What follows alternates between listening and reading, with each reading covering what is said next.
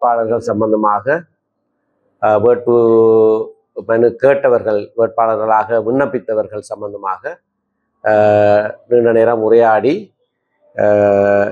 ஒரு இடங்கள் தவிர்ந்த மற்ற இடங்களுக்கு நாங்கள் வேட்பாளர் பட்டியல் இறுதி செய்திருக்கிறோம். முதலிலே யாழ்ப்பாண தேர்தல் மாவட்டத்திலே நேற்றைய தினம் அறிவித்தபடி திரு. ஸ்ரீதரனும் நானும் போட்டியிடுகிறோம். யாழ்ப்பாண தேர்தல் மாவட்டத்திலே ஒன்பது வேட்பாளர்களை நாங்கள் நிறுத்த முடியும். Thiru Sritharan Sumanthiran SCC Ilangovan Kesavan Sayanthan Chandralingam Sukirthan Sureka Sasindran Thiyagaraja Prakash Emmanuel Arnold Krishnaveni Sritharan ஆகிய வேட்பாளர்களை நாங்கள் நிறுத்துகிறோம். இதிலே நாங்கள் இருவர் ஏற்கனவே பாராளுமன்ற உறுப்பினர்களாக மூன்று தடவைகள் இருந்தவர்கள். ஆனால் மற்ற அனைவரும் முதல் தடவையாக போட்டியிடுகிற வேட்பாளர்கள் அனைவரும் இளம் வேட்பாளர்கள் என்று அழைக்கப்படக்கூடிய தகுதி உடையவர்கள் ஒருவர் ஐம்பது வயதானவர் மற்றவர்கள் எல்லாம் ஒருவர் ஐம்பது கூட்டின வயதுள்ள இளங்கோவன். மற்றவர்கள் எல்லாம் ஐம்பதுக்கு குறைவான வயதுடையவர்கள். இதிலே இரண்டு பெண்களையும் நாங்கள் நிறுத்தியிருக்கிறோம். இதுகால வரைக்கும் சில சில தருணங்களிலே மருந்துக்கு ஒரு பண்ணை மட்டும் நிறுத்துகிற ஒரு கலாச்சாரம் இருந்தது. ஆனால் இந்த தடவை திருமதி சுரேகா சசீந்திரனையும் திருமதி கிருஷ்ணமணி ஸ்ரீதரன் அவர்களையும் நிறுத்தியிருக்கிறோம்.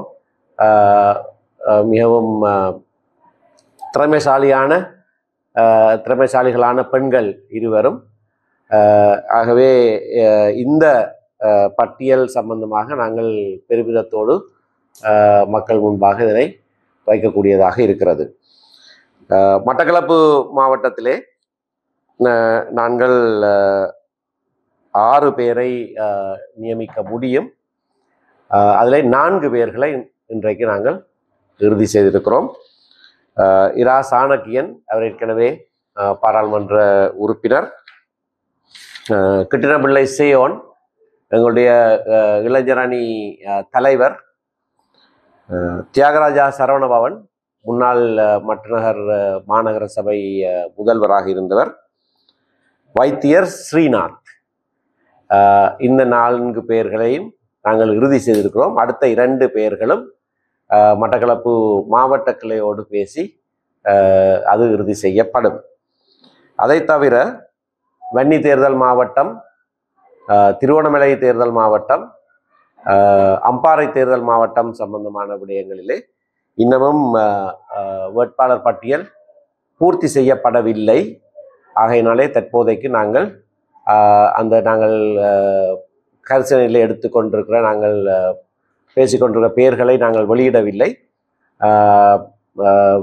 உங்களுக்கு தெரியும் வன்னி தேர்தல் மாவட்டம் மூன்று நிர்வாக மாவட்டங்களை உள்ளடங்கியது. ஆகையினாலே அதிலே எல்லா பிரதேசங்களையும் பிரதித்துவப்படுத்துகிறதும் ஒவ்வொரு கரிசனைகளுடையவர்களுடைய நியாயங்களையும் நாங்கள் கேட்டு செய்ய வேண்டியதாக இருக்கிற காரணத்தினாலே சற்று தாமதமாகிறது.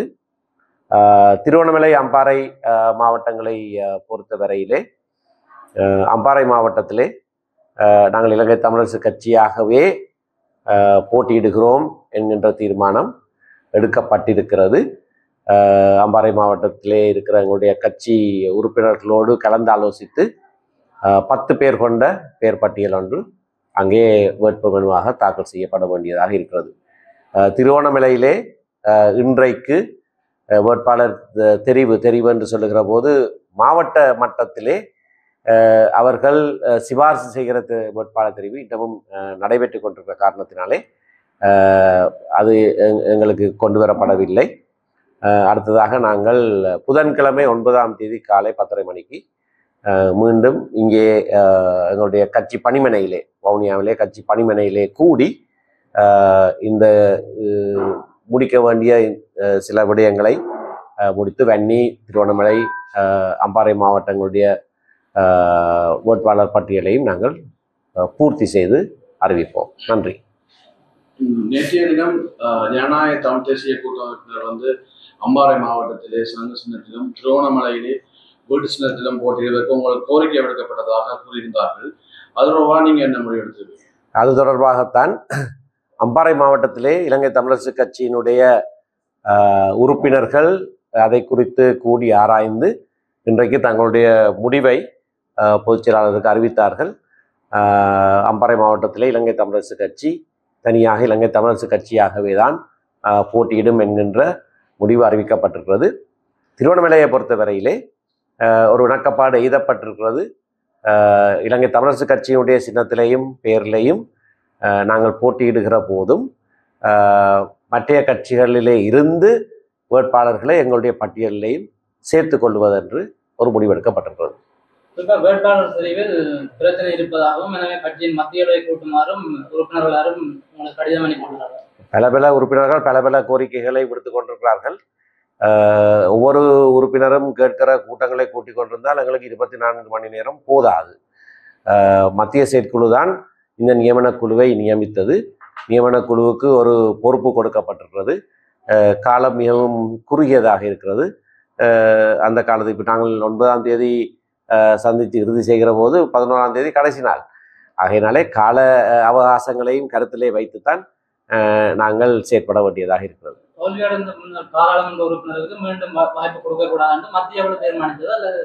தோல்வியடைந்த பாராளுமன்ற உறுப்பினர்களுக்கு கொடுக்கக்கூடாது என்று தீர்மானம் எடுக்கப்படவில்லை. அது சற்று வித்தியாசமான ஒரு தீர்மானம் எடுக்கப்பட்டிருந்தது. ஒரு தடவை அல்லது இரு தடவைகள் பாராளுமன்ற உறுப்பினராக ஏற்கனவே இருந்து அதற்கு பிறகும் போட்டியிட சந்தர்ப்பம் கொடுத்து அதில் அவர்கள் வெற்றி பெறாதவர்கள் ஆக இருந்திருந்தால் அவர்களுக்கு அந்த சந்தர்ப்பம் கொடுக்க தேவையில்லை என்கின்ற ஒரு தீர்மானம் மத்திய செயற்குள்ளே நிறைவேற்றப்பட்டது. அதற்கான காரணம் அதற்கான காரணம் நாங்கள் ஏற்கனவே சொன்னதைப் போல ஒரு குறித்த எண்ணிக்கையான வேட்பாளர்களை தான் நாங்கள் நிறுத்த முடியும் ஒவ்வொரு தேர்தல் மாவட்டத்திலும்.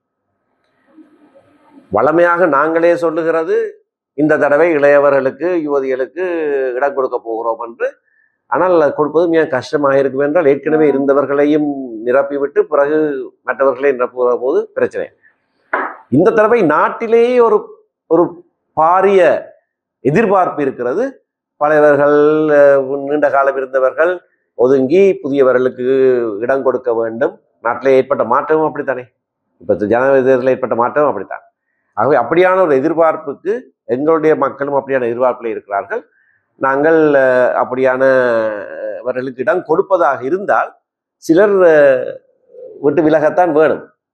ஆகையினால்தான் ஒரு வழிகாட்டலாக ஒரு தீர்மானம் நிறைவேற்றப்பட்டது.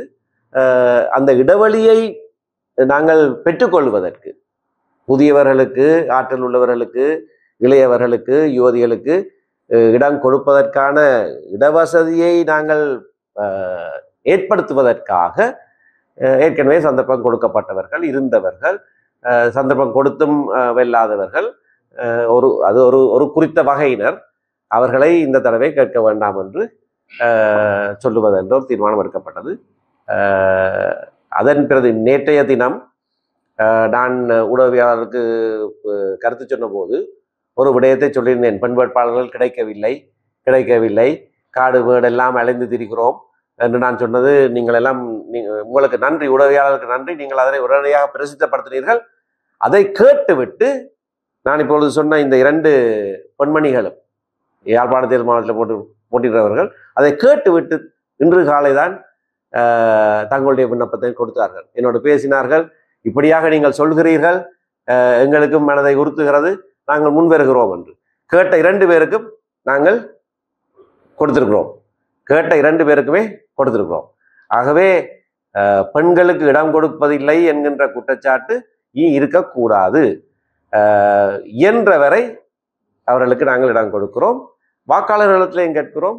இந்த அரசியல் கலாச்சாரம் மாற வேண்டுமாக இருந்தால் மக்கள் மத்தியிலே என்ன மாதிரியான விதாசாரத்திலே பெண்கள் ஆண்கள் இருக்கிறார்களோ அது பிரதிபலிக்கப்பட வேண்டும். நீங்கள் தேர்ந்தெடுக்கிறவர்களை ஆகவே அதையும் கருத்தில் கொண்டு இந்த தடவை மிக நேர்மையாக உண்மையாக பெண்கள் உள்வாங்கப்பட வேண்டும் என்ற கருத்தோடு நாங்கள் எங்களுடைய வேட்பாளர் பட்டியலை தயாரிக்கிறோம். முன்னாள் பாராளுமன்ற உறுப்பினர் சார்ஸ் நிர்மலன் அவர்கள் இம்முறை வன்னி மாவட்டத்திலே போட்டியிட போவதில்லை என்று தெரிவிக்கப்பட்டிருந்தது? இருந்தபோதும் நேற்றைய தினம் ஒரு ஊடகத்திலே செய்தி வெளியாகிருக்கின்றது அவர் மீண்டும் போட்டியிட போவதாக. இது தொடர்பாக அவங்களுடைய. எங்களுக்கு தெரியாது அதை பற்றி. அவர் தான் சொன்னார் போட்டியிடுற இல்லைன்னு இப்போ வேற செய்தி ஒன்று வந்திருக்கிறதுன்னு சொல்றீங்க. அவர்கிட்ட தான் கேட்க வேணும். சார் போட்டியை போட்டா